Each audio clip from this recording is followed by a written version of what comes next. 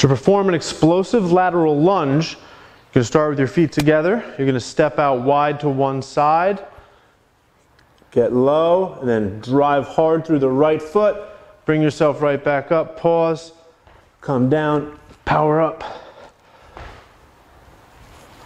Right back. Now from the side, you don't want your knee to travel over your ankle, so you have to sit your hip back a little bit. Right back up. Right back up.